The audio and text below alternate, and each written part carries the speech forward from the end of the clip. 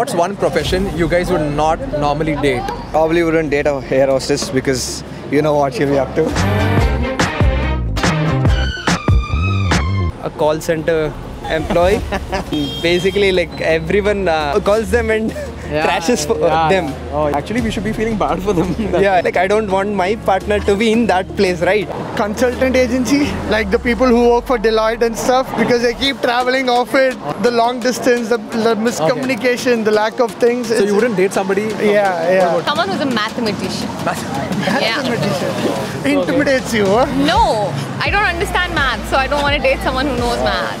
मत समझा न्यूमरेटर अगर डिनोमिनेटर से बड़ा हुआ ना तो नेगेटिव में जाता है So I wouldn't date someone who's my employee. I am running a business, so I wouldn't. I think. investment banking because I had a bad experience. Is this like the Lakshmi Chit Fund wala experience?